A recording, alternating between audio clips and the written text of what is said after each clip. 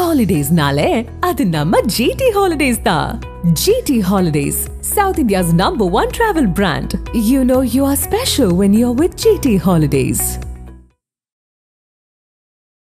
ஒரு சமுதாய புரட்சிங்கிறது ஒரு சமுதாயத்தோட லீட் பண்ணி கொண்டு போகக்கூடிய ஒரு லீடரா இருக்கிறவங்களுக்கு ஆளுமை திறமை இருந்தா போதும். அவங்களுக்கு அடிதடியில போய் இறங்கணும்னு அவசியம் இல்லை. அவங்க வந்து வெட்டுக்குத்துன்னு இறங்கணும்ன்ற அவசியம் இல்லைன்றதை ப்ரூவ் பண்ணி அதை மாத்தி காட்டினவர் பூவை மூர்த்தியார். ஓ. பிராமணர்களோட ஆதிக்கம் வந்து ஜாஸ்தி இருந்த ஒரு காலகட்டம். அது. அப்போ இவர் அது படிச்சு வர்றது வந்து அது ஒரு பெரிய சாதனையா எடுத்து பண்றாரு. அதை சாதிக்கவும் சாதிக்கிறாரு. அது முடிச்ச பிறகு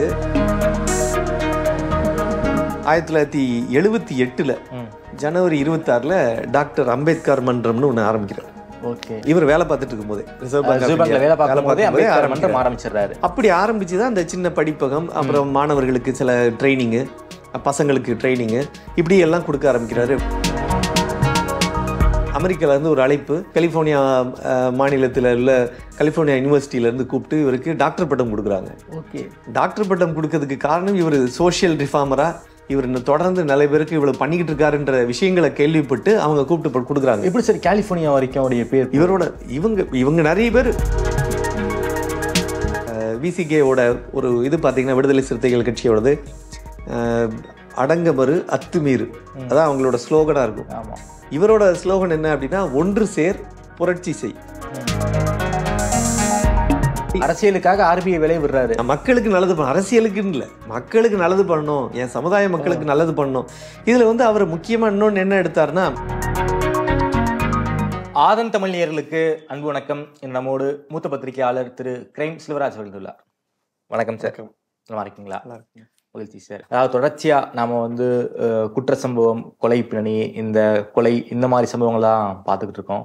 இன்னைக்கு ஒரு மிக முக்கியமான ஒரு ஆளுமையை பத்தி பார்க்க போறோம் சார். அவர் இந்த சென்னையில பிரிக்க முடியாத மாவட்டங்களான காஞ்சிபுரம் திருவள்ளூர் செங்கல்பட்டு இந்த மாவட்டங்களில் ஆதிக்க செலுத்திய ஒரு மிகப்பெரிய ஒரு அரசியல் தலைவர். அவர் பேர் வந்து மூர்த்தியார். அவர் வந்து பூவை மூர்த்தியார்னு இன்னைக்கு வரைக்கும் கொண்டாடுறாங்க. இன்னைக்கு திருவள்ளூர் அரக்கோணம் காஞ்சிபுரம் இந்த பகுதிகளில் பயணிக்கும் போது அவங்களுடைய குடிப்பு கம்பங்களை எல்லாம் நம்மளால பார்க்க முடியும். அந்த அளவுக்கு இந்த சென்னை மாவட்டங்கள்ல ஒரு மிகப்பெரிய உள்ள டாமினன்ஸ் பண்ணிக்கிட்டு இருக்காங்க. அவர் எப்படி இயக்கத்தை ஆரம்பித்தார் அவர் செய்த சாதனை என்ன இந்த அம்பேத்கர் இயக்கத்துக்கும் அவருக்குமான தொடர்பு அதை பத்தி முழுமையா சொல்லுங்க சார். கண்டிப்பாக இது வந்து பூவை எம் மூர்த்தியார் அவருக்கு வந்து டாக்டர் பட்டம் வந்து கலிஃபோர்னியா பல்கலைக்கழகம் கொடுத்துருக்கு அவர் டாக்டர் பூவை எம் மூர்த்தியார். அப்படின்னு சொல்லக்கூட படக்கூடிய அவர் உண்மையாகவே ஒரு பெரிய ஆளுமையோட ஆளுமையை மிக்க ஒரு மனிதர். இதில் வந்து இன்னொரு விஷயம் சொல்லணும் நம்ம நிறைய பேரை பற்றி பார்த்துருக்கோம் குறிப்பாக வந்து தேவேந்திர குல வேளாளர் சமுதாயத்தில் பலர் வந்து பெரிய லீடர்ஸாக வந்து மக்களுக்காக அவங்க மக்களுக்காக நிறைய நல்லது பண்ணியிருக்காங்க. சாம்பவர் சொல்லலாம் டெல்டா கிங்னு சொல்ல அழைக்கப்படக்கூடிய மல்மேடு சங்கர் பசுபதி பாண்டியன் உள்பட நிறைய பேர் வந்து இது மாதிரி இந்த அந்த தேவேந்திர குல சமுதாய மக்கள் வளர்ச்சிக்காக பாடுபட்டவங்க நிறைய இருக்காங்க. அதுலேயும் குறிப்பாக வந்து பார்த்திங்கன்னா அதில் நிறைய உட்பிரிவுகள்லாம் இருக்கும் உள்ளுக்குள்ளேயே வந்து பார்த்திங்கன்னா நிறைய உட்பிரிவுகள் அவங்களுக்குள்ள நிறைய கருத்து மோதல்கள் மற்றபடி நிறைய விஷயங்கள் இருந்தாலும் கூட கிட்டத்தட்ட ஒரு நூற்றம்பதுக்கும் மேல். அவங்க சின்ன சின்ன அமைப்புகள் நிறைய பேர் ரன் பண்ணிக்கிட்டு இருந்தாங்க. அதில் பாப்புலராக வெளியில் தெரிஞ்சதுன்னு பார்த்தீங்கன்னா வெறும் ஒரு less than half a dozen தான் இருக்கும். ஒரு ஆறு பேர் எட் பத்து பேருக்குள்ளே தான் தெரியும். மற்றவங்க எல்லாமே அவங்கவுங்க அந்தந்த ஏரியாவில் டாமினண்ட்டாக இருந்துட்டு இருந்தாங்களே தவிர மற்றபடி யாரும் பெரிய லெவலுக்கு பேசப்படலை. அதுலேயும் குறிப்பாக வந்து பார்த்தீங்கன்னா நிறைய பேர் என்ன நம்பிட்டு இருந்தாங்கன்னா ஒரு நாலு பேரை வெட்டினாதான் நாலு பேரை அடித்தாதான் வந்து அவரை லீடராக நினச்சிக்கிட்டு இருந்த ஒரு காலகட்டத்தை மாற்றி அப்படி கிடையாது. ஒரு சமுதாய புரட்சிங்கிறது ஒரு சமுதாயத்தோட லீட் பண்ணி கொண்டு போகக்கூடிய ஒரு லீடராக இருக்கிறவங்களுக்கு ஆளுமை திறமை இருந்தால் போதும். அவங்களுக்கு அடிதடியில் போய் இறங்கணும்னு அவசியம் இல்லை. அவங்க வந்து வெட்டுக்குத்துன்னு இறங்கணுன்ற அவசியம் இல்லைன்றதை ப்ரூவ் பண்ணி அதை மாற்றி காட்டினவர் பூவை மூர்த்தியார் ஓ. அந்த அளவுக்கு ஒரு ஆளுமை மிக்க மனிதர். ஆளுமை மிக்கவர்ன்றதை விட ரிசர்வ் பேங்க் ஆஃப் இந்தியாவில் வேலை பார்த்துட்டு இருந்தார். ஓகே. அவர் வந்து அவர் படித்தது டாக்டரேட் பண்ணியிருக்காரு பிஹெச்டி பண்ணியிருக்காரு தத்துவியல்ல அவருக்கு அம்பேத்கர் மேலே நிறைய பாசம். அம்பேத்கரை பற்றின நிறைய புத்தகங்கள் படிக்க ஆரம்பிக்கிறாரு. அவரோட ஒவ்வொரு வரி வரியாக படித்து அவங்களுக்கு அவங்களோட அதாவது இவர் சார்ந்திருக்கக்கூடிய தலித் சமுதாய மக்கள் வந்து அவங்க அவங்க வந்து வேலைக்காக யார்கிட்டயும் போய் கையேந்தக்கூடாது. நம்மளே ஒரு ஒரு முதலாளியாக ஆகணுன்ற அந்த எண்ணத்துலையும் நிறைய பேரை படித்து அதாவது படிப்பு மூலமாக அவங்க வந்து பெரிய ஆளுமை திறமைக்கு அவங்களோட அவங்க அவங்கள வந்து உயர்த்திக்க முடியும். எக்கனாமிக்கலும் சரி அவங்க சோஷியலையும் வந்து அவங்கள வந்து உயர்த்திக்க முடியும் அப்படின்ற ப்ரூவ் பண்ணவர் பூவை ஓகே கல்விதான் எல்லாத்துக்கும் ஒரே ஆயுதம் அம்பேத்கர் சொன்னதை அதை அப்படியே ஃபாலோ பண்ணுறாரு ஸோ அப்படி பார்த்தீங்கன்னா இவர் ஏப்ரல் மாதம் பத்தாம் தேதி ஆயிரத்தி தொள்ளாயிரத்தி ஐம்பத்தி மூணில் பிறக்கிறார். சரி. இவர். இவருக்கு அப்புறம் இவரோட தம்பி இப்போ பூவை ஜெகன்மூர்த்தியார்ன்றவர் தான் MLA வா இருக்காரு, எம்எல்ஏவா இருக்காரு. கேவி குப்பம் எம்எல்ஏல அவர் எம்எல்ஏவா இருக்காரு. ஏற்கனவே அரக்கோணம் தொகுதி ஒரு தடவை எம்எல்ஏவும் இருந்தார். இவர் ஜெகன்மூர்த்தி அவர்கள் வந்து பாத்தீங்கன்னா இவருக்கு பிறகு பதிமூணு வருஷத்துக்கு பிறகு தான் பிறக்கிறார் எழுபத் அறுபத்தி ஆறுல தான் பிறக்கிறார். இவர் பூவை மூர்த்தியாரை பொறுத்த வரைக்கும் அவரோட ஆலம் ஆரம்ப காலகட்டம் ரொம்ப கொஞ்சம் கஷ்டத்திலேயே தான் போகுது. இவரோட சொந்த பிறந்த ஊருன்னு பார்த்தீங்கன்னா இவங்க அம்மா வந்து ருக்மிணி அம்மையார் அவங்க அப்பா வந்து முனுசாமி. ஸோ இவங்க ஆண்டர்சன்பேட்டை அப்படின்ற ஒரு இடம் பூந்தமல்லி பக்கத்தில் இருக்கக்கூடிய ஒரு சின்ன பகுதி அது. அந்த பகுதியில் தான் இவர் பிறந்து வளர்ந்துருக்காரு. அங்கே வந்து தொடக்க தொடக்கப்பள்ளி தான் இருக்குது நீங்கள் வந்து மிடில் ஸ்கூலும் கூட எலிமெண்ட்ரி ஸ்கூல் இல்லை ஹை ஸ்கூல் இல்லை ஹையர் செகண்டரி ஸ்கூல் இல்லை. ஸோ இவருக்கு அங்கே தான் போய் படிக்கிறார். ஒன்றாவதுலேருந்து அஞ்சாவது வரைக்கும் அங்கே படிக்கிறாரு. அதுக்கப்புறம் திருமலிசை பக்கத்தில் இருக்கக்கூடிய அங்கேருந்து கொஞ்சம் தூரம் தள்ளி இருக்கக்கூடிய திருமலிசையில் சுந்தர முதலியார் உயர்நிலை அரசு உயர்நிலைப் பள்ளியில் போய் படிக்கிறாரு. ஆறாவதுலேருந்து பன்னெண்டாவது வரை படிக்கிறாரு. அங்கே படிக்கும்போதும் படிப்புல ரொம்ப ஷார்ப்பாக சில விஷயங்களெல்லாம் அப்சர்வ் பண்ணுறாரு அதுக்கப்புறம் அதை முடிச்சதுமே அவருக்கு படிப்பில் மேலே நல் நிறைய படிக்கணுன்ற ஒரு ஆர்வம் வர ஆரம்பிக்குது.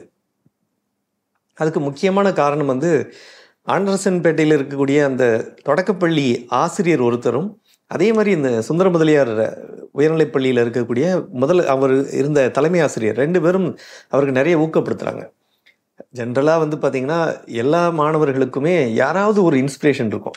அது மாதிரி இவருக்கு இந்த தலைமை ஆசிரியரும் அங்கே ஆண்டரசன்பேட்டையில் இருக்கக்கூடிய ஒரு ஒரு ஆசிரியரும் தான் அவருக்கு ரொம்ப பெரிய ஊக்கம். அவங்க கிட்ட நிறைய நேரம் அதாவது நிறைய பேர் மாணவர்கள் வந்து ஸ்கூல் விட்டா எப்படா வீட்டுக்கு போகணும்னு தோணும். பட் இவர் மட்டும் இன்னும் கொஞ்சம் அவங்கள்ட்ட வந்து கத்துக்கணும். சொசைட்டியை பற்றியும் நிறைய விஷயங்களை பற்றி டிஸ்கஸ் பண்ணுறது அந்த சின்ன வயசுலயே அவருக்கு அந்த ஆர்வம் ஜாஸ்தி இருந்ததுனால அதை அவங்க நோட்டீஸ் பண்ணி சில டீச்சர்ஸ் வந்து ஈஸியாக மாணவர்களை ஐடென்டிஃபை பண்ண முடியும். அவங்க இவன் நல்லா வருவான்றது. முறையிலேயே தெரியும் தெரியும்ன்றது அளவுக்கு அவங்க ஏதோ மைண்டுக்குள்ள தோணி இருக்கு அதனால தான் அவரை நிறைய மோட்டிவேட் பண்ணி அவரை நிறைய மோல்ட் பண்ணி விடுறாங்க. அதுக்கப்புறம் அவர் பட்டாபிராமில் இருக்கக்கூடிய இந்து கல்லூரி அங்கே படிக்கிறாரு. அங்கே பியூசி படிக்கிறாரு. அந்த பியூசி படிக்கும்போது அங்கே மாணவர்கள் ஸ்டூடெண்ட்ஸ் சேர்மனாக அங்கே எலெக்ட் ஆகிறாரு ஓகே. பெரிய அவருக்கு சப்போர்ட்டோ பேக்ரவுண்டோ கிடையாது. மாணவர்கள் மத்தியில் நல்ல செல்வாக்கு. இந்த செல்வாக்கு அப்படியே வந்து ஓட்டாக மாறுது. அது மூலமாக இவருக்கு பாசிட்டிவாக வருது. மாணவர்கள் அந்த ஸ்டூடெண்ட்ஸ் சேர்மனாக மாறுறாரு. அதை முடிச்சிட்டும் அதுக்கப்புறம் யோசிக்கிறாரு நம்ம மேலே படிக்கணும் அப்படின்னு சொல்லி பிளான் பண்ணி எக்கனாமிக்ஸ் படிக்கணுன்ற ஒரு ஆர்வம் இருக்கு பொருளாதாரத்தை பற்றியும் பொருளாதார உள்ள ஏற்றத்தாழ்வுகளை எப்படி களையிறது? ஏன்னா பெரும்பாலான இந்த தலித் சமுதாயத்தை பொறுத்த வரைக்கும் அவங்களுக்கு வந்து நிறைய பிரச்சனைகள் எப்படி வர ஆரம்பிக்கும் அப்படின்னு பார்த்தீங்கன்னா அவங்களுக்கு எக்கனாமிக்கலி ரொம்ப பேக்வர்டு ஆமா. அதுக்கு வந்து அவங்க தொடர்ந்து அவங்க வந்து கூலி வேலை பார்த்தோ இல்லை வேற ஒரு யாருக்கிட்டயே வேலை பார்த்துக்கிட்டே இருக்கிற மாதிரி இருக்கும். ஒரு ஒரு அடிமை தொழில் மாதிரி போயிட்டே இருக்கிறதுனால அதுலேருந்து விடுபடணும்னா முதல்ல பொருளாதாரன்றது என்னன்றதை புரிஞ்சுக்கிட்டாதான் நம்ம அதுலேருந்து இவங்களை வெளிக்கொண்டு வர முடியும். நான் நான் ஒரு நானும் அது மாதிரி இருக்கக்கூடாது. என்னை சார்ந்து இருக்கக்கூடிய சமுதாய மக்களும் அப்படி இருக்கக்கூடாதுன்றதுல ரொம்ப. ஆணித்தரமான ரொம்ப ஒரு பெரிய அந்த அம்பேத்கரோட வழிகாட்டுதல்னு சொல்ற மாதிரி ரொம்ப பெர்ஃபெக்டா ஃபாலோ பண்ணவர் மூர்த்தியார். மூர்த்தியார் தான். அப்படி அவர் போக ஆரம்பிக்கும் போது அவரோட செயல்பாடுகள் எல்லாமே அடுத்து உடனே அதுக்காக பிரசிடென்சி காலேஜில் போய் சேர்றாரு. இப்போ பூந்தமல்லியிலேருந்து அந்த காலகட்டம் நான் சொல்றது வந்து எழுபத்தஞ்சு எழுபத்தெட்டு அந்த பீரியட்ல ஓகே. அந்த பீரியட்ல வந்து இப்போ சென்னை இப்போ மாதிரி இல்லை. ஆமா. பூந்தமல்லி வந்து பக்கத்து மாவட்டம் மாதிரி தான் கணக்கு. பூந்தமல்லியும் சென்னைக்கும் சம்மந்தமே இருக்காது. ரொம்ப தூரம் அது. ஈவன் அண்ணா நகரே தூரம். ஓகே. அஹ் அண்ணா நகர் திருவான்மியூர் நம்ம ஏற்கனவே இதை பத்தி கூட பார்த்துருக்கோம். நம்ம ஆட்டோ சங்கர் பத்திலாம் கூட. திருவான்மியூர்லாம் வந்து அவுட்ரு அப்போ ஆட்டோ சங்கர் அங்கே போய் outer. ஆமா சென்னையோட அவுட்டரில் போய் தான் அவன் வீடு எடுத்து தங்குறான். அது மாதிரி எல்லாமே புதர் மண்டிய ஒரு பகுதிகளாக ரொம்ப அவுட்டரில் இருக்கு. பூந்தமல்லியும் அது மாதிரி ஒரு ரொம்ப தூரம். அங்கேருந்து இங்கே வந்துலாம் போக முடியாது. அப்போ அதுக்காக என்ன பண்ணுறாரு புரசேவாக்கத்தில் ஒரு ஹாஸ்டல் இருக்கு. அரசு நடத்தக்கூடிய எஸ்சி எஸ்டி ஹாஸ்டல் இருக்கு. அந்த ஹாஸ்டலில் போய் தங்குறாரு. ஹாஸ்டலில் தங்குறவர் திரும்பி அங்கேருந்து அவரால் போக முடியும். அதாவது கல்லூரிக்கு போக முடியும். போக முடியும். இருபத்தொம்போதையே அப்போவே பஸ் இருக்கு. Okay. Perambur to Anna Sathukkam bus இருக்கு. ஆனால் பஸ்ஸில் ஏறி போனால் காசு ஏன் செலவு பண்ணணும்? ஏன்னா அதுக்கு ஸ்பேர் பண்ணுற அந்த அமௌண்ட்டை கூட மிச்சப்படுத்தி தனது தந்தைக்கும் தாய்க்கும் ஏதாவது செய்யணும் அப்படின்ற ஒரு ஆர்வம். ஏன்னா ரொம்ப கஷ்டங்கள். அந்த கஷ்டத்தை அவர் விவரிக்க முடியாத அந்த கஷ்டத்தை அவர் மனசுக்குள்ளேயே வச்சுக்கிட்டு தினமும் புருஷவாக்கத்துலேருந்து அண்ணா ஸ்கொயருக்கு நடந்தே போவார். நடந்தே போய் கல்லூரி படிப்பை முடிச்சாரு. அங்கே போகும்போதும் இதே மாதிரி மாணவர்களோட செல்வாக்கு பெற்று மாணவர்களோட அப்ரிசியேஷனில் மீண்டும் அவர் ஸ்டூடெண்ட் சேர்மனாக மாறுறாரு. அங்கே பிரசிடென்சி காலேஜ் பிரசிடென்சி காலேஜ்லேயும் அவர் இன்னும் அங்கே இதில் இருக்கு. அந்த போர்டுலாம் இருக்கு. அவங்களுக்கு ஸ்டூடெண்ட்ஸ் சேர்மன் யாரா இருந்தாங்கன்னு லிஸ்ட் இருக்கு. ஒரு போர்டு தனியாக வச்சிருக்காங்க. அந்த போர்டில் பூவை மூர்த்தியாரோட பேர் இருக்கு. ஸோ அதுலேயும் மக்களோட அந்த ஸ்டூடெண்ட்ஸோட செல்வாக்குலேயே பாப்புலராக வந்தார் அந்த அளவுக்கு இன்ஃபுளுன்ஷியல் கேரக்டரா காலேஜ் படிக்கும்போது இருந்திருக்காரு. பெஸ்ட் ஆரேட்டர்னு சொல்லலாம். அதாவது அவர் பேச்சு அந்த அளவுக்கு மெஸ்மரைஸ் பண்ற மாதிரி இருக்கும். ஓகே. ஏழ்மை தான் அவரால் வந்து கஷ்டம்தான். படிப்பு இருக்கு. படிப்பு மூலமா என்ன வேணா சாதிக்கலாம்ன்றத ப்ரூவ் பண்ணவர். ஓகே. அப்படி போன ஆரம்பிச்ச பிறகு யூனிவர்சிட்டி ரேங்க் செகண்ட் ஹோல்டர் வாங்குறாரு. செகண்ட் ரேங்க் வாங்குறாரு. யூனிவர்சிட்டிலேயே எக்கனாமிக்ஸ்ல எக்கனாமிக்ஸில் உடனடியாக அவருக்கு கல்லூரியிலிருந்தே ஒரு சில டீச்சர்ஸு அங்கே இருந்த ப்ரொஃபஸர்ஸு லெக்சரர்ஸ் எல்லாம் ரெக்கமெண்ட் பண்ணி நீ இப்போ இதோட நிற்காத நீ மேற்கொண்டு படிக்கணும் அப்படின்னு சொல்லி இவரை என்கரேஜ் பண்ணி தஞ்சாவூர் அருகே இருக்கக்கூடிய பூண்டி கலை அறிவியல் கல்லூரியில் அவர் எம்ஏ எக்கனாமிக்ஸ் படிக்கிறார். எம்ஏ எக்கனாமிக்ஸ் படித்து முடிச்ச பிறகு அவருக்கு அதுலேயும் நல்ல சக்ஸஸ்ஃபுல்லாக வராரு. சரி. அது முடிச்சிட்டு மீண்டும் சென்னைக்கு வந்த பிறகு அவருக்கு அந்த டைம்ல அங்க இருந்த பூண்டி கல்லூரியில இருந்த ஒரு சில ஆசிரியர்கள் அவருக்கு அம்பேத்கரை பத்தின நிறைய விஷயங்களை சொ- கத்துக் கொடுக்குறாங்க. அவர் ஏற்கனவே அம்பேத்கரோட பிரியர் தான். பட் இருந்தாலும் இன்னும் சில அவருக்கு இன்னும் செசில் பண்ணி அவரை இன்னும் மோல்டு பண்ணி வெளியில அனுப்புறாங்க. அஹ், பூண்டி புஷ்பம் காலேஜ்ல கல்லூரியில. அதுக்கு வெளியில வந்த பிறகு இவருக்கு என்ன ஒரு தீராத ஒரு ஆர்வம் இருக்குன்னா நம்ம ஏன் அம்பேத்கர் மாதிரி சட்டம் படிக்கக்கூடாதுன்னு ஒரு எண்ணம் வர ஆரம்பிக்குது. ஓகே. சென்னையில் சட்டக்கல்லூரியில் சேர்ந்து சட்டம் பயில்றாரு. சட்ட சட்டக்கல்லூரியில் முடித்த பிறகு அதுக்கப்புறம் தத்துவியல் படிக்க ஆரம்பிக்கிறார். இது தத்துவியல் படிக்க ஆரம்பிக்கும் போது அவருக்கு வந்து இன்ட்ரெஸ்ட் என்னன்னா நம்ம எப்படியாவது அதாவது அந்த காலம்ன்றது வந்து ரொம்ப அதான் செவன்டி எயிட்டு எயிட்டிஸ்லலாம் பார்த்தீங்கன்னா ஒரு தலித் சமுதாய ஒரு மாணவர் வந்து ஒரு சட்டம் பயில்றது பெரிய விஷயம் ஒன்று அடுத்தது சட்டம் பண்றது மட்டும் இல்லை எக்கனாமிக்ஸில் பெரிய மாணவராக அதாவது டாப் ஸ்கோரராக வராரு. அடுத்தது அதே மாதிரி டாக்டரேட்டும் பண்றாரு அதுவும் தத்துவியலில் பண்றாரு. டாக்டரேட் பண்ணதுல நீங்க விரல் விட்டு எண்ணக்கூடியவங்க தான் அப்போ இருந்தவங்க. ஆமா yes. நீங்க பெரும்பாலும் வந்து பிராமணர்களோட ஆதிக்கம் வந்து ஜாஸ்தி இருந்த ஒரு காலகட்டம். காலம் அது அப்போ இவர் அது படிச்சு வர்றது வந்து அது ஒரு பெரிய சாதனையா எடுத்து பண்றாரு. ஓகே. அதை சாதிக்கவும் சாதிக்கிறாரு. அதுவும் அது முடிச்ச பிறகு நேரடியா பூந்தமல்லி கோர்ட்ல பிராக்டிஸ் பண்றாரு லாயரா அங்க இருக்கக்கூடிய எல்லாருக்கும் என்னென்ன கேஸ் இருக்கோ எல்லாருக்கும் ஃப்ரீயா பண்றாரு. ஓ. அவங்க அந்த அந்த தலித் சமுதாய மக்களோட குறைகளுக்காக இவரே முன்னாடி போய் ஏன்னா அந்த காலகட்டத்தில் பார்த்தீங்கன்னா நெல் அந்த கூலிக்கு போறவங்களோட ஒரு படி நெல் அதிகமாக கொடுக்கறதுக்கு அவ்வளோ யோசிக்கிறாங்க அந்த முதலாளிகள். அதை சண்டை போட்டு போராடி வாங்கி கொடுக்குறாரு. அந்த கூலி வேலை பார்க்கக்கூடிய சின்ன அவங்களுக்கு ஒரு படி நெல்லுங்கிறது அவ்வளோ பெரிய பெரிய விஷயம். சார். அதுல வந்து அவங்களுக்கு ஏன்னா நெல்லரிசி சாப்பிட்றதே ரொம்ப கஷ்டமான காலகட்டங்கள். ஏன்னா நீங்க காமராஜர் அந்த இதுல பாத்தீங்கன்னா உங்களுக்கு நமக்கே தெரியும். அப்போ அந்த களி தான் போட்டாங்க. ஆமா. நெல்லரிசி சோறே வந்து எம்ஜிஆருக்கு வந்த பிறகு தான் நெல்லரிசியை நம்ம வந்து சாப்பாட்டிலே பார்க்க ஆரம்பிச்சாங்க நிறைய பேர். அதுவும் இலவசமாக மதிய உணவில் தான் கொண்டு வராரு. அது மாதிரி இருந்த காலகட்டத்தில் இவர் ஒரு படி நெல் வந்து அதிகமாக அந்த கூலி வேலை அவங்க பார்க்குற கஷ்டப்பட்ட அந்த வேலைக்கு வந்து உரிய ஊதியம் கிடைக்கணும் அந்த அவங்களுக்கு சரியான ஒரு இது வரணும் அப்படிங்கிறதுக்காக போராடி வாங்கி கொடுக்குறாரு. அதே மாதிரி பார்த்தீங்கன்னா அந்த இன்னொன்று விழுப்புரம் பக்கத்தில் அந்த தலித் சமுதாயம் உள்பட தேவேந்திரகுல வேளாளர் சமுதாய மக்கள் வந்து தாக்கப்பட்டது. அவங்கள வந்து அட்டாக் நடந்தது. அந்த சம்பவத்திலையும் அந்த எழுபத்தெட்டுகளில் அதுலேயும் இவர் தொடர்ந்து போராடுறாரு. அப்போ கல்லூரி படிச்சுட்டு இருக்கும்போதும் சரி படித்து முடிச்சுட்டு அவங்க லாயராக ப்ராக்டிஸ் பண்ணும்போதும் அதை ரொம்ப அப்போ இருந்தே அவருக்கு வந்து சமுதாயத்து மேலே ஒரு பெரிய அக்கறை இருக்குது சமுதாயத்தை நம்ம சரி பண்ணணும் சீர் பண்ணணும் அப்படின்னா அது படிப்பு மூலமாக தான் சரி பண்ண முடியும். அடுத்தது சட்டம் வந்து தெரிஞ்சிருக்கணும். இப்போ வரைக்கும் போலீஸ் ஸ்டேஷன் போனால் என்ன சட்டம் என்ன நடக்குதுன்றதே பாதி பேருக்கு தெரியாது. அதுக்கு காரணம் அதுக்கு நீங்கள் சட்டம் படிக்கணுன்ற அவசியம் இல்லை. சட்ட நாலேஜை நீங்கள் இம்ப்ரூவ் இப்போலாம் எல்லாம் வந்துருச்சு ஆன்லைனில் தெரிஞ்சுக்கலாம். இப்போ நீங்கள் இப்போ நான் வந்து க்ரைம் ரிப்போர்ட்டராக இருக்கோம்னா நமக்கு எனக்கே வந்து ஒரு சில எல்லாம் தெரியும்னு சொல்ல முடியாது. எனக்கும் தெரிஞ்ச விஷயங்களை இன்னும் போலீஸ் மூலமாகவோ இல்லை சில தெரிஞ்ச நண்பர்கள் லாயர்ஸ் இருக்காங்க. நிறைய பேர் மூலமாக தெரிஞ்சுப்பேன். இது என்ன? இது என்னோட இதோட இது ஷரத் என்ன? இதோட டீட்டெயில்ஸ் என்ன? இது எவ்வளோ நாள் பனிஷ்மெண்ட் கொடுக்கறதுக்கு வாய்ப்பு? மேக்ஸிமம் பனிஷ்மெண்ட் எவ்வளோ கிடைக்கும்?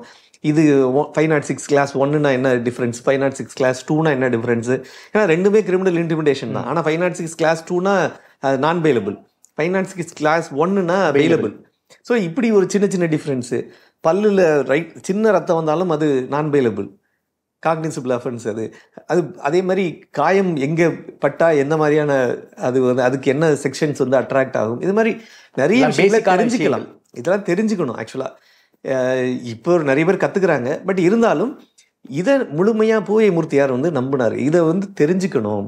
மக்களுக்கு இது விழிப்புணர்வு இல்லாதனால தான் இந்த ஆதிக்க சக்திகள்னு சொல்லக்கூடிய நிறைய பேர் போலீஸ் உள்பட நிறைய பேர் வந்து அவங்கள மிஸ்யூஸ் பண்ணுறாங்க அவங்க. பவர்ஸை மிஸ்யூஸ் பண்ணாங்கன்னு நம்பினார். அப்படி பண்ண ஆரம்பிக்கும் போது இவருக்கு இவர் தொடர்ந்து மெட்ராஸ் ஹைகோர்ட்லேயும் அப்போ கொஞ்ச நாள் ப்ராக்டிஸ் பண்ணிட்டு இருக்காரு ப்ராக்டிஸ் பண்ணும்போது அவருக்கு ரிசர்வ் பேங்க் ஆஃப் இந்தியாவில் வேலை கிடைக்குது. ஓ. வேலை பார்க்குறாரு அவர் தொடர்ந்து ஈவினிங் ஆனால் வீட்டுக்கு வந்ததும் அவரோட ஒரு மக்களுக்கு ஃப்ரீயாக டியூஷன் சொல்லி கொடுக்கறது சட்டம் கற்றுக் கொடுக்கறது. அப்புறம் ஏதாவது அவர் வந்து வீட்டுக்கு போகிறாருன்னு வச்சுக்கோங்களேன். அந்த வீட்டில் அங்கே இருந்த ஒரு நண்பர் ஒருத்தர்கிட்ட பேசும்போது சொன்னார் வெளியில் எப்பயும் ஒரு இருபது பேராக இருப்பாங்களாம் ஓகே அவர் பார்க்கறதுக்காக. பார்க்கறது மட்டும் இல்லை. சும்மா ஒரு ஃபில் பண்ணி கொடுக்கறது. ஒரு ஸ்கூல் அட்மிஷனுக்கோ காலேஜ். அட்மிஷன் ஃபில் பண்ணுறது எப்படி என்னன்னே தெரியாதவங்க அவ்வளோ பேர் நிற்கிறாங்க இப்போ இவர் என்ன பண்ண ஆரம்பிச்சார்னா இப்போ நம்ம மட்டும் இல்லை நம்மள மாதிரி இன்னும் நிறைய பேருக்கு அப்போ நம்மளோட இது. தேவணும் அப்படி தேவை அப்படிங்கிறதுனால என்ன பண்ண ஆரம்பிக்கிறாருன்னா இதே மாதிரி ஒரு யங்ஸ்டர்ஸை உருவாக்கி அவங்களுக்கு கற்றுக் கொடுக்குறாரு ஃபர்ஸ்ட் சரி. இந்த டீச்சர்ஸ் ட்ரைனர்ஸ் ஆஃப் ட்ரைனர்ஸ்னு சொல்லுவாங்க. அது. மாதிரி அவங்கள ஃபர்ஸ்ட் ஒரு பத்து பேரை ட்ரெயின் பண்ணி விட்ட உடனே அவங்கள ரெகுலராக வச்சுக்கிறது. பக்கத்துலேயே அம்பேத்கர் படிப்பகம்னு ஒரு அமைப்பை ஒரு சின்ன ஒரு ஒரு குடிசை மாதிரி ஒன்று போட்டு விட்டு ரொம்ப பெரிய ஒரு இதுலனாலும் யார் வேணாலும் எப்போ வேணாலும் வரலாம். அவங்களுக்கு எந்த தேவையோ அவங்க பண்ணி கொடுப்பாங்க. ஹெல்ப் பண்ணி கொடுப்பாங்க. ஒரு ஆக்டிவிஸ்டா அந்த அளவுக்கு ஒரு ஆரம்பத்துல இருந்தே அந்த சின்ன சின்ன வேலைகளை ஏன்னா இவர் ஒரு அலுவலகம் போறாரு ரிசர்வ் பேங்க் ஆஃப் இந்தியானா அங்கிருந்து வர முடியாது ஓடி வர முடியாது. பகல்ல ஏதோ தேவை என்ன பண்றது அப்படிங்கிறதுக்காக இந்த பசங்க யாராவது ஒருத்தர் அங்க இருப்பாங்க. நீங்க வந்து அவங்க என்ன பண்ணலாம்? நீங்க வந்து என்ன ஹெல்ப் பண்ணாலும் கேட்கலாம். அவங்க கேட்க போறது பெரிய வேலைலாம் கிடையாது. இப்போ நீங்க வந்து ரேஷன் கார்டில் எப்படி பேர் சேர்க்கறது? இல்லை நம்ம ஒரு இந்த மாதிரி சின்ன சின்ன வேலைகளுக்கு அவங்களுக்கு அதுவே தெரியறது இல்ல அந்த ஹெல்ப்புக்காகவே ஆளுங்களை அவங்கள பசங்களை ட்ரெயின் பண்ணி வச்சார். அதுக்கப்புறம் ஒரு கட்டத்துக்கு மேலே தான் அவர் ஆயிரத்தி தொள்ளாயிரத்தி எழுபத்தி எட்டில் ஜனவரி இருபத்தாறில் டாக்டர் அம்பேத்கர் மன்றம்னு ஒன்று ஆரம்பிக்கிறார். ஓகே. இவர் வேலை பார்த்துட்டு இருக்கும்போதே ரிசர்வ் பேங்க் வேலை பார்க்கும்போதே அம்பேத்கர் ஆரம்பிச்சிடுறாரு. அப்படி ஆரம்பிச்சு தான் அந்த சின்ன படிப்பகம் அப்புறம் மாணவர்களுக்கு சில ட்ரைனிங்கு பசங்களுக்கு ட்ரைனிங்கு இப்படி எல்லாம் கொடுக்க ஆரம்பிக்கிறாரு. விளையாட்டு போட்டிகள் நடத்துறது விளையாட்டுகளுக்கு கற்றுக் கொடுக்கறது. பசங்களையே வந்து அவங்கள ஓடி ஆடணும் அப்படின்றதுக்காகவே மாணவர்களுக்கு தவறான பழக்க வழக்கங்களுக்கு ஏன்னா பெரும்பாலான இந்த அதாவது விளிம்புநிலை மக்கள். ஆமா இவங்களுக்கு வந்து என்னன்னா இவங்களை மிஸ்யூஸ் பண்றதுக்கு ஆதிக்க சக்திகளும் என்ன பண்றாங்கன்னா அவங்களுக்கு பண தேவை இருக்கிறத பயன்படுத்தி அவங்கள தவறான பாதைக்கு அவங்கள தப்பா யூஸ் பண்ணி அவங்கள ஒரு கொரியராவோ ஒரு ஏஜென்டாவோ ஏதோ ஒரு பயன்படுத்தி நாளைக்கு பிரச்சனை வரும்போது அவனை மாட்டி விட்டு ஒதுங்கிடுவான். ஸோ இப்படி தான் அந்த ஒரு பர்டிகுலர் இது வந்து தொடர்ந்து நெகட்டிவாக போய் நெகட்டிவ் அவங்க இம்பேக்டுக்குள்ளே போய் மாட்டி தொடர்ந்து நிறைய வயலன்ஸ்லையும் க்ரைம்லையும் ஈடுபடுறதுக்கான காரணங்களாக அமைய ஆரம்பிச்சு அதை தடுக்கிறதுக்காக இந்த வேலையை பண்ண ஆரம்பிக்கிறாரு. அதுக்கப்புறம் படிப்படியாக அந்த எழுபத்தெட்டுக்கு பிறகு அவர் என்ன பண்ண ஆரம்பிக்கிறாருன்னா திரும்பி அதுக்கப்புறமே இவருக்கு திடீர்னு அமெரிக்கால இருந்து ஒரு அழைப்பு கலிஃபோர்னியா மாநிலத்தில் உள்ள கலிஃபோர்னியா யூனிவர்சிட்டியில இருந்து கூப்பிட்டு இவருக்கு டாக்டர் பட்டம் கொடுக்குறாங்க. ஓகே. டாக்டர் பட்டம் கொடுக்கறதுக்கு காரணம் இவர் சோஷியல் ரிஃபார்மரா இவர் தொடர்ந்து நிறைய பேருக்கு இவ்வளவு பண்ணிக்கிட்டு இருக்காருன்ற விஷயங்களை கேள்விப்பட்டு அவங்க கூப்பிட்டு கொடுக்குறாங்க. எப்படி சார் கலிஃபோர்னியா வரைக்கும் அவருடைய பேர்? இவரோட இவங்க இவங்க நிறைய பேர் இவர் படிக்க வச்சு சப்போர்ட் பண்ண நிறைய பேர் அங்கங்க போக ஆரம்பிக்கிறாங்க. இப்போ இவர் வந்து இப்போ மனிதநேயம் ஒரு சைதை துரைசாமி பத்தி பாக்குறோம். ஆமா. அது மாதிரி இவர் ஏற்கனவே ஒரு ஒரு அதாவது மனிதநேயம் மாதிரி ஒரு அமைப்பா இல்லைன்னா கூட நிறைய பேருக்கு மேற்கொண்டு படிக்கிறதுக்கு அப்புறம் அதாவது காம்படிட்டிவ் எக்ஸாம்ல எப்படி பாஸ் பண்ணணும் எப்படி கிராக் பண்ணணும் அப்படின்ற விஷயங்கள் எல்லாமே வந்து கற்றுக் கொடுத்து நிறைய அரசு பதவிகளுக்கு போறதுக்கான வாய்ப்பை உருவாக்கி ஓகே ஓகே. அப்படி போக ஆரம்பிக்கும் போது நிறைய பேருக்கு அதில் ஒரு எழுச்சி உருவாகுது. இப்போ நீங்கள் அது வரைக்கும் பார்த்தீங்கன்னா இப்போ புந்தமல்லின்றது ஏற்கனவே ஒரு சின்ன கிராமம். மாதிரியான ஒரு இடம் தான் ஸோ அந்த இடத்துல இருந்து நிறைய பேர் பொழப்பு தேடி பக்கத்தில் எங்கேயோ போய் மைக்ரேட் ஆகிற மாதிரி இருந்தது. அதை முதல்ல மாற்றணும்னு நினைக்கிறாரு. என்னன்னா நம்ம ஊர் இது நம்ம ஊரில் நம்ம ஊரில் இருந்துக்கிட்டு நீ வேலை பாரு. இங்கே இல்லாதுன்னா வேற எங்கே இருக்க போகுது. அப்படின்னு ஒரு இதை கிரியேட் பண்ணுறதுக்காக இவருக்கு அவங்க அவங்களுக்கு வேலைகளை தேடி கொடுக்கறதுக்கான சில அமைப்புகளை உருவாக்க ஆரம்பிக்கிறார். ஓகே. அரசுக்கிட்ட எழுதி அனுப்பி எங்களுக்கு தனியாக அந்த பக்கம் வந்து ஒரு சிப்காட் ஆரம்பிங்க இதை பண்ணுங்கன்னு சொல்லி ஒன்று சின்ன சின்ன வேலைகள் அப்போ அப்போவே நிறைய பெட்டிஷனாக போடுறாரு. இவர் லா படிச்சிருக்கிறதுனாலையும் இது மூலமாக லீகலி சிலது வயபிள் அப்படின்றத இவருக்கு கண்டுபிடிச்சதுனால இதை பண்ண ஆரம்பிக்கிறார். அதுக்கப்புறமே இவருக்கு பார்த்தீங்கன்னா ஒரு கட்டத்துக்கு மேலே இவர் டாக்டரேட்லாம் கிடச்சி இன்னும் அவருக்கு நிறைய பாராட்டு புகழ் வர ஆரம்பிக்கும் போது பூவை ஒன்றிய டாக்டர் அம்பேத்கர் மன்றம்னு அதை கொஞ்சம் விரிவுபடுத்துறாரு. பூந்தமல் இவர் ஒரு சின்ன மன்றமா. இருந்ததை பூவை ஒன்றியம்னு சொல்லி பூந்தமல்லிக்கு விரிவுபடுத்துற மாதிரி பண்றாரு. திரும்பி அதுவும் நல்ல சக்சஸ்ஃபுல்லா போகுது. நிறைய பேர் வர ஆரம்பிக்கிறாங்க இவரை சந்திக்கிறாங்க. இவரை வந்து ஒரு அரசியல் இல்லை. ஆனா ஒரு சமுதாய காவலனா ஒரு சோஷியல் ரிஃபார்மரா எல்லாரும் பார்க்க ஆரம்பிச்சாங்க. அதுக்கப்புறம் பாத்தீங்கன்னா திருவள்ளூர் ஒருங்கிணைந்த காஞ்சிபுரம். இந்த ஒருங்கிணைந்த காஞ்சிபுரம்ங்கிறது இப்ப செங்கல்பட்டு மாவட்டத்தோட சேர்த்து. ஆமா. அப்படி என்ன பண்றாருன்னா இவரை இன்னும் விரிவுபடுத்தி பூவை ஒன்றிய டாக்டர் அம்பேத்கர் மன்றத்தை அதுக்கப்புறம் செங்கை மாவட்ட செங்கை டாக்டர் அம்பேத்கர் மன்றம்னு விரிவுபடுத்துறாரு. ஸோ மொத்தமா இப்போ திருவள்ளூர் காஞ்சிபுரம் எல்லாம் சேர்ந்து வர ஆரம்பிச்சிச்சு. சரி. ஸோ இவங்களோட நெட்வொர்க் இன்னும் பெரிய ஆரம்பிக்கும் போது அதனாலதான் அந்த சரௌண்டிங்ல இவங்க அதிகமா அவங்க அதிகமா இருக்காங்களா சார்? இருக்கிறதுக்கான காரணம் அது அப்ப இருந்து ஆரம்பிச்சது. இப்போ இல்ல ஆரம்பிக்கல. ஓகே இன்னைக்கு ஆரம்பிச்சு நாளைக்கு வந்த 70s, 80s லயே ஆரம்பிச்சிட்டாங்க. எயிட்டிஸ்லயே அவர் அவரோட இதை பில்ட் பண்ண ஆரம்பிச்சிட்டாரு. ஓகே அதுக்கப்புறம் தான் இவருக்கு செங்கை மாவட்டத்திலிருந்து இவங்க பண்ண ஆரம்பிச்சும் போதே இப்போ நீங்க விசிகேவோட ஒரு இது பார்த்தீங்கன்னா விடுதலை சிறுத்தைகள் கட்சியோடது அஹ், அடங்கமறு அத்துமீறு. அதான் அவங்களோட ஸ்லோகனா இருக்கும். இவரோட ஸ்லோகன் என்ன அப்படின்னா ஒன்று சேர் புரட்சி செய். இவர் பூவையாரோட அந்த ஒரு ஸ்லோகன் அது. ஒன்று சேர் புரட்சி செய். புரட்சி செய் அப்படின்றது இவரோட ஸ்லோகன். அதே மாதிரி அதுக்கப்புறம் தான் இவர் என்ன பண்றாருன்னா டாக்டர் அம்பேத்கர் மக்கள் விடுதலை முன்னணி அப்படின்னு ஆரம்பிச்சாரு கட்சியாவே கிட்டத்தட்ட இது கட்சின்னு இல்ல. அவர் என்ன பண்றாருன்னா அது இதுவும் வந்து ஒரு அமைப்போட ஒரு இன்னும் நம்ம வந்து நார்மலா ஆமா நான் வந்து நான் ஒரு ஒரு சமுதாய புரட்சியாளர் சமுதாயத்துக்கு நல்லது பண்ணணும்னு நினைக்கிறேன். நான் ஏன் என்ன நானே வந்து பூந்தமல்லிக்குன்னு குறுக்கிக்கணும் செங்கை மாவட்டத்துக்குன்னு ஏன் குறுக்கிக்கணும் தமிழ்நாடு முழுக்க இருக்க எல்லாருக்குமே சப்போர்ட் பண்ணுவோம்னு நினைச்சு தான் அப்படி ஆரம்பிக்கிறாரு. இது தமிழ்நாடு மாநில தலைவரா மாறுறாரு. Okay okay. இது ஒரு கட்டத்துக்கு மேல அண்ணல் அம்பேத்கர்? அதான் டாக்டர் அம்பேத்கர் மக்கள் விடுதலை முன்னணி. ஓகே. ஸோ இது ஆரம்பிச்ச பிறகு அவங்களுக்கு நேரம் பத்தல. அதுக்கப்புறம் என்ன பண்ணார்? ரிசர்வ் பேங்க் வேலையை விட்டுட்டு வேணாம் நான் முழு நேர அரசியலுக்கு வந்துடுறேன்னு சொல்லி வந்து அதுக்கப்புறம் தான் அவர் புரட்சி பாரதம்ன்ற அந்த அமைப்பை ஆரம்பிக்கிறார். ஸோ புரட்சி பாரதம்ன்றது கட்சியா ஆரம்பிச்சு அதோட ஃபவுண்டர் பிரசிடெண்டா அவரே இருக்கிறாரு. தொடர்ந்து நான் சொன்ன மாதிரி அரசியலுக்காக ஆர்பிஐ விலை விடுறாரு. ஆமா. அரசியல் நான் மக்களுக்கு நல்லது பண்ண அரசியலுக்குன்னு இல்லை. மக்களுக்கு நல்லது பண்ணணும் என் சமுதாய மக்களுக்கு நல்லது பண்ணணும்.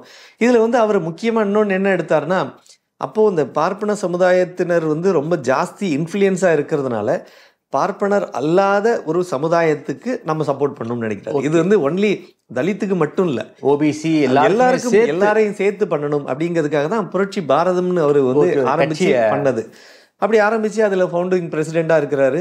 அதுல நிறைய விஷயங்கள் பண்றாரு. அவர் வந்து எல்லாருக்கும் வீட்டு மனைகள் வாங்கி கொடுக்கறது. ஏன்னா கவர்மெண்டோட ஸ்கீம்ஸ் நிறைய இருக்கு.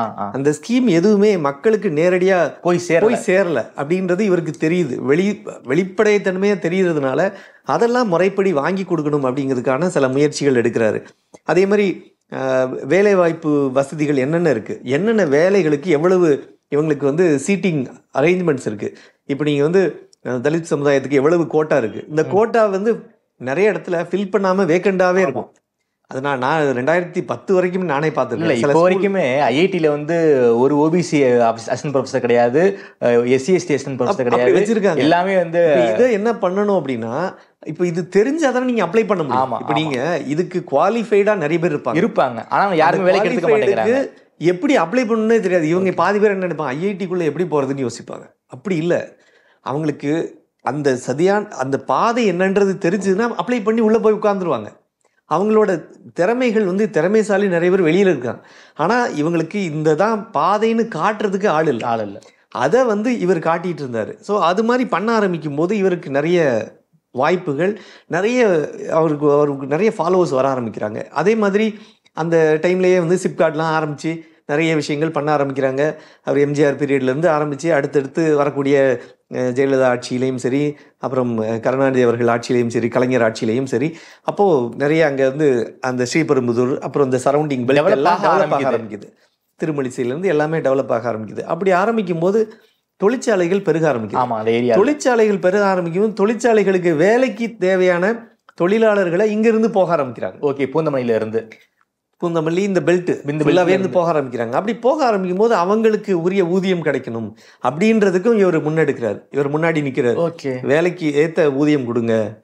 நீங்க ஏமாத்தக்கூடாது. எங்க மக்களை நீங்க ஏமாத்தக்கூடாதுன்னு சொல்லி இவரே முன்னாடி வந்திருந்து அவங்களுக்காக போ குரல் கொடுக்குறாரு போராடுறாரு. இது எல்லாமே பண்ண ஆரம்பிக்கிறாரு. இந்த டைம்ல தான் வந்து பாத்தீங்கன்னா காரணைன்னு ஒரு பகுதியில ஒருத்தர் ஏழுமலைன்னு ஒருத்தரும் ஆயிரத்தி தொள்ளாயிரத்தி தொண்ணூத்தி நாலுல இது. ஜெயலலிதா அவர்கள் ஆட்சியில் இருக்கும்போது காரணைன்ற ஒரு கிராமத்துல ஜான் தாமஸ் ஏழுமலைன்னு ரெண்டு பேர் பஞ்சமி நில மீட்புக்காக போராட்டம் பண்றாங்க. அதுல நடந்த துப்பாக்கி சூடுல செத்து போயிடுறாங்க. ஓகே. அவங்களுக்காக உடனடியா பூந்தமல்லியில இருந்து கோட்டை நோக்கி பேரணியே வள்ளுவர் கோட்டத்துல இருந்து ஓகே. கோட்டை நோக்கி பேரணியே போனார். இது அவங்களுக்கு நியாயம் கிடைக்கணும் அப்படின்னு சொல்லி. அதே மாதிரி அப்புறமா செங்கல்பட்டுல திரும்பி ஒரு இவங்க ரெண்டு பேருக்கும் நினைவு தூண் ஒன்று அமை எழுப்புறதுக்கு புரட்சி பாரதம் சார்பில் ஏற்பாடு பண்ணி அதையும் இன்ஸ்டால் பண்ணாரு. அந்த அளவுக்கு இவங்க சமுதாய மக்களுக்கு மட்டும் இல்லை எங்கெல்லாம் வந்து அநீதி இழைக்கப்படுதோ அந்த இடத்துக்கு உடனடியாக போய் குரல் கொடுக்கக்கூடிய ஒரு நபரா முதல் நபராக இருந்தார். அதை நிறைய பேர் ஃபாலோ பண்ணாங்க. அப்புறம் இவருக்குன்னு ஒரு பெரிய ஒரு ஃபேன் ஃபாலோ உருவாகுது. அதுக்கப்புறம் பார்த்தீங்கன்னா கிட்டத்தட்ட நைன்டி ஃபைவ்லலாம் வந்து பாட்டாளி மக்கள் கட்சி அந்த டைமில் நல்ல பாப்புலராக இருக்காங்க. இப்பயே இருக்காங்க பட் நிறைய சீட்டு வரல. வின்னிங் கான்ஸ்டிடுவன்சி பெருசாக இல்லை. தொண்ணூத்தஞ்சில் பனகல் பா பார்க்கில் வந்து ஒரு பொதுக்கூட்டம் நடக்குது. அந்த பொதுக்கூட்டத்தில் அவர் பேசும்போது கூட நான் வந்து அதாவது இந்த தமிழகத்தோட முதலமைச்சராக வரக்கூடிய தகுதி ஒரு தலித் இளைஞருக்கு தான் இருக்குது அந்த தலித் இளைஞர் மூர்த்தியார் தான் அப்படின்னு அவரே பேசுகிறார் ராமதாஸ் ஐயா ராமதாஸேவே பேசுகிறாரு ஓ. ஸோ அந்த அளவுக்கு எல்லார் எல்லா சமுதாயம் அதாவது பிராமணர் அல்லாத எல்லா சமுதாயத்தையும் அல்ல ஆல்மோஸ்ட் ஒருங்கிணைச்சு. தொண்ணூத்தாறுல பார்த்தீங்கன்னா அப்போ அஹ், இவங்க ஆட்சி வந்துடுச்சு. திமுக ஆட்சி. ஆட்சி வந்துடுச்சு. அரக்கோணத்துல ஒரு பிரம்மாண்டமா ஒரு மீட்டிங்கை போட்டு கிட்டத்தட்ட பதினாறு லட்சம் பேருக்கிட்ட செம்ம கூட்டம் ஏற்பாடு பண்ணி அந்த நிகழ்ச்சி ஒரு பெரிய ஜெயலலிதாவே வந்து பார்த்து பிரமிக்கிற அளவுக்கு ஒரு அங்க இது நடந்தது. ஸோ அந்த அளவுக்கு அவர் பெரிய எழுச்சிகளெல்லாம் உருவாக்குனார். அந்த அவர் அவர் தொடர்ந்து வந்து அவருக்கு நிறைய விஷயங்கள் பண்றாரு. மக்களுக்கு நல்லது பண்ற மாதிரியே. அதுலயே பாத்தீங்கன்னா தீவிர அரசியல்லயும் அவர் ஈடுபடுறாரு. தீவிர அரசியலில் ஈடுபடும் போது அவருக்கு இன்னொரு முக்கியமான விஷயம் என்ன கிடைக்குதுன்னா இப்போ பார்த்தீங்கன்னா முன்னாள் எம்பி ஜெகநாதன் ஒருத்தர் அப்புறம் வை பாலசுந்தரம் சொல்லி வைப்பான்னு சொல்லுவாங்க. அவர் அப்புறம் சக்திதாசன் அப்புறம் அதே மாதிரி டாக்டர் சேப்பன் அப்புறம் இளைய பெருமாள் அப்புறம் சுந்தரராஜன். ஆயிரத்தி தொள்ளாயிரத்தி தொண்ணூற்றி ஒன்றுலையும் பார்த்தீங்கன்னா அந்த டைமில் வந்து மத்திய அமைச்சராக இருந்த அர்ஜுன் சிங். அர்ஜுன் சிங். அர்ஜுன் சிங்னு சொல்லி மத்திய அமைச்சராக இருந்தார். அவர் அந்த அந்த டைமில் வந்து அவருக்கு தனியாக அம்பேத்கருக்கு சிலை திறக்கணும்னு சொல்லி அவரை வச்சு திறக்க வச்சார் பூவை மூர்த்தியார். ஸோ அந்த அளவுக்கு இவருக்கு வந்து நெட்வொர்க்கை மொத்தமாக கிரவுண்டு நல்ல செட் செட் பண்ணிட்டார். அதாவது ஜென்ரலாக பார்த்தீங்கன்னா நம்ம ஒரு பில்டிங் பேஸ்மெண்ட் எந்த அளவுக்கு ஸ்ட்ராங்காக இருக்கணும் அப்படின்றது நிறைய அறிஞ்சு அதை எந்த அளவுக்கு எஸ்டாப்ளிஷ் பண்ண முடியுமோ அந்த அளவுக்கு ஏரியா முழுக்க இவரோட தொண்டர்களும் சரி இவருக்கு ஃபாலோவர்ஸாக இருக்கக்கூடிய நிறைய பேரை டெவலப் பண்ணி வச்சது. அவருக்கு அவருக்கு எப்படி யூஸ் ஆகுதோ இல்லையோ இப்போ ஜெகன்மூர்த்தின்னு அவரது தம்பிக்கு இன்னைக்கும் யூஸ் ஆயிட்டு இருக்கு. அவன் ஒரு குறிப்பா வந்து இவர் செப்டம்பர் ரெண்டு ரெண்டாயிரத்தி ரெண்டுல வந்து அப்போ அண்ணா திராவிட முன்னேற்ற கழகம் ஆட்சிக்கு வந்த காலகட்டம் அது ரெண்டாயிரத்தி ஒண்ணுல இருந்து ரெண்டாயிரத்தி ஆறு வரைக்கும். அப்போ திடீர்னு அவர் வீட்டில் இருக்கும்போது ஹார்ட் அட்டாக்ல அவர் இறந்துடுறாரு. அஹ், பூவை மூர்த்தியார் இறந்த அஞ்சாவது நாள் செப்டம்பர் ரெண்டு ரெண்டாயிரத்தி ரெண்டில் இறந்து போகிறாரு செப்டம்பர் ஏழில் அவங்களோட தலைவர்கள் வை பாலசுந்தரம் அப்புறம் இளையபெருமாள் க சுந்தரராஜன் சார் அப்புறம் இவங்க டாக்டர் சேப்பன் உட்பட நிறைய பேர். அவங்க இருந்த அப்போ இருந்த லீடர்ஸ் எல்லாரும் சேர்ந்து அவரோட தம்பி அப்புறம் ஜெகன்மூர்த்தி அவர்களை வந்து லீடராக கொண்டு வராங்க.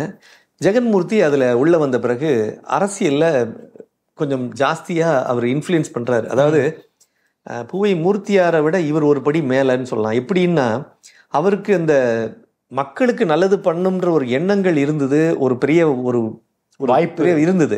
ஆனால் அவரால் வந்து அரசியலில் ஜெயிக்க முடியல. அதாவது மக்கள் அவங்க எல்லாமே என்ன பண்ணிட்டாங்கன்னா இவர் வந்து ஒரு ஒரு தலித் சமுதாய லீடர் அப்படின்ற மாதிரியே ஒரு பார்வையை உருவாக்குற மாதிரி பண்ணிட்டாங்க. அப்படி இருந்ததுனால அரசியலில் நின்னாரு. எம்பி எலெக்ஷன்ல நின்னாரு எம்எல்ஏ எலெக்ஷன்ல நின்னாரு. ஆனா கணிசமான ஓட்டுகள் வாங்கினாரு. அது ஜெயிக்கிற அளவுக்கு வரல. ஓ. ஆனா அதே நேரத்துல ஜெகன்மூர்த்தி அவர்கள் வந்து ஸ்ட்ராட்டஜி ஒர்க் அவுட் பண்ணார். இப்பயும் பாத்தீங்கன்னா அஹ், திமுகவோட சேர்ந்து நின்று அரக்கோணத்துல ஜெயிச்சு எம்எல்ஏ ஆனார். ரெண்டாயிரத்தி ஆறில். அதுக்கப்புறம் ரெண்டாயிரத்தி பதினொன்றுக்கு பிறகு அதுக்கப்புறம் பார்த்தீங்கன்னா திரும்பி அண்ணா திராவிட முன்னேற்ற கழகம் சப்போர்ட்டில் கூட வந்தார். மீண்டும் இப்போ அஹ், திரும்பி கண்டெஸ்ட் பண்ணி இப்போ கேவி குப்பம் தொகுதியில் அண்ணா திராவிட முன்னேற்ற கழகம் கூட்டணியில இப்போ MLA ஆகியிருக்காரு. எம்எல்ஏ ஆகி இப்போ எம்எல்ஏவா இருக்கு இருக்காரு. ஆமா. இன்னைக்கும் அவர் பூவை எம் மூர்த்தியார் அவர்களோட என்ன பண்ணாரோ அதை அந்த லெவலுக்கு ஈக்குவலா அவரோட தம்பி பண்ணிக்கிட்டு இருக்காரு. ஜெகன்மூர்த்தி யாரும் ஜெகன்மூர்த்தியாரும் பண்ணிட்டு இருக்காரு. இன்னைக்கும் அவருக்குன்னு ஒரு பெரிய ஃபாலோவர்ஸ் ஃபாலோவர்ஸ் இருக்காங்க. அவருக்கு மீம் கிரியேட்டர்ஸ்ல இருந்து ஐடி விங்ல இருந்து இப்போ நமக்கு என்னென்ன அரசியலுக்கு தேவையோ அது எல்லாமே இருக்கு. ஆள் இருக்காங்க. எல்லாமே இருக்கு. ஈவன் பாத்தீங்கன்னா இந்த சில கானா சாங்ஸ் எல்லாம் கூட அந்த கானா சுதாகர் உள்பட நிறைய பேர் இவர் இவரோட புகழ் பாடுற மாதிரி ப்ரைஸ். பண்ணி பாடுற மாதிரி அவரோட பர்த்டேவுக்கும் சரி இல்ல பூவை மூர்த்தியோட பிறந்த நாளுக்கும் சரி இது மாதிரி தொடர்ந்து அவரை புகழ்ந்து அவங்களுக்கு அந்த மக்களுக்கு இன்னும் அவர் நல்லது பண்ணுவாரு அப்படின்ற நம்பிக்கையோட தொடர்ந்து செயல்பட்டுக்கிட்டு இருக்காங்க. அவரும் வந்து அதுல விட்டு கொடுக்கறதுக்கான வாய்ப்பே இல்லை. அவரும் வந்து ஆனா கூட்டணியில் இல்லாம இண்டிவிஜுவலா நின்றுருந்தா ஒருவேளை. இவருக்கும் வாய்ப்பு ஜெயிக்கிற அளவுக்கு போயிருக்க முடியாது. ஆனா இவரும் கூட்டணியில் இருந்தாலும் அவர் அவருக்கு மக்களுக்கு நல்லது பண்ணணும் அப்படின்றதுல நிறைய தொடர்ந்து ஈடுபட்டுக்கிட்டு இருக்காருன்றது மட்டும் உண்மை. ஓகே சார் ரொம்ப நன்றி சார். அந்த ஒருங்கிணைந்த கா- காஞ்சிபுரம் அர திருவள்ளூர் அரக்கோணம் இந்த பகுதியில் வந்து மிக ஆதிக்கம் செலுத்தக்கூடிய கட்சியான இந்த புரட்சி பாரதம் கட்சியை நிறுவிய இந்த பூவை மூர்த்தியார் பற்றி ரொம்ப விரிவாக பேசியிருக்கீங்க. குறிப்பாக அவருடைய இளமை காலத்தில் ஆரம்பித்து அவர் மரணமடைகிற வரைக்கும் என்ன மாதிரியான செயல்கள் பண்ணார்? அவர் மரணத்துக்கு பிறகு புரட்சி பாரதம் கட்சி ஒரு எப்பேற்பட்ட ஒரு பெரிய கட்சியாக மாறுனுச்சு. அவருடைய பூவை ஜெகன்மூர்த்தியாரை பற்றியும் ரொம்ப விரிவாக பேசியிருக்கீங்க. நேர்ந்து பேசி மிக்க ரொம்ப நன்றி. சார்.